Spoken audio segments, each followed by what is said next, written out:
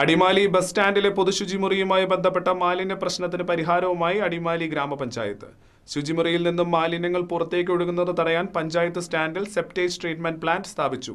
ശുചിത്വ മിഷന്റെ സഹകരണത്തോടെ പത്തൊമ്പത് ലക്ഷം രൂപ മുതൽ മുടക്കിയാണ് പ്ലാന്റിന്റെ നിർമ്മാണം പൂർത്തീകരിച്ചിട്ടുള്ളത്.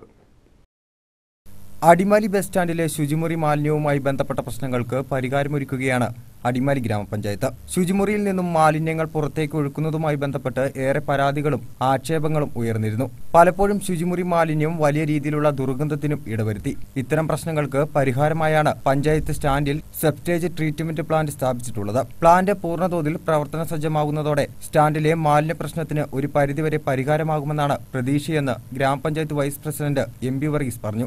ഇടുക്കിയുടെ കവാടമായി അടിമാലിയിൽ അടിമാലിയെ സംബന്ധിച്ചിടത്തോളം അടിമാലി വരുന്ന ആളുകൾക്ക് അവിടെ ഇറങ്ങാനും ഒന്ന് വിശ്രമിക്കാനും ഒക്കെ ഉള്ള സൗകര്യം അടിമാലി പ്രൈവറ്റ് ബസ് സ്റ്റാൻഡാണ് എന്നാൽ private bus stand comfort station എന്ന് പറയുന്നത്. കമ്പാർട്ട് ഇടുക്കി നമ്മുടെ കമ്പാർട്ട് സ്റ്റേഷൻ എന്ന് പറയുന്നത്. അവിടെ നമ്മുടെ കമ്പാർട്ട് സ്റ്റേഷനിൽ വരുന്ന വേസ്റ്റുകളും മറ്റും ഒരു വലിയ ബുദ്ധിമുട്ട് ആളുകൾക്ക് ഉണ്ടായിട്ടുണ്ടായിരുന്നു. എന്നാൽ ഇപ്പോൾ നമ്മൾ പുതിയതായിട്ട് ഒരു പ്ലാന്റിന്റെ പ്രവർത്തനം അവിടെ ആരംഭിക്കുമ്പോൾ ആ ഒരു പ്രശ്നവും നമുക്ക് അവിടെ അവസാനിക്കുകയാണ്.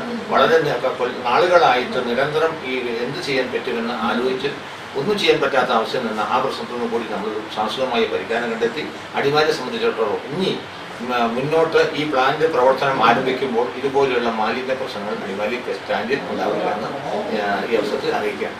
ശുചിമുറിയിൽ നിന്നും മാലിന്യം പുറത്തേക്ക് ഒഴുക്കുന്നത് നിയന്ത്രിക്കുകയാണ് പ്ലാന്റിന്റെ നിർമ്മാണ ലക്ഷ്യം. മാലിന്യം ടാങ്കിൽ നിന്നും കെമിക്കൽ പ്ലാന്റ് വഴി കടത്തിവിട്ട് ശുദ്ധീകരിച്ച് പുറത്തേക്ക് ഒഴുക്കുകയാവും രീതി. ശുചിത്വ മിഷന്റെ സഹകരണത്തോടെ പദ്ധതി പൂർത്തീകരിക്കപ്പെട്ടാൽ ബസ് സ്റ്റാൻഡ് പരിസരത്ത് കൂടി ഓടയിലൂടെ ശുചിമുറി മാലിന്യം അടിമാലിത്തോട്ടിലേക്ക് ഒഴുക്കുന്നത് പൂർണമായി തടയാൻ പറ്റൂ. Channel today Adimali.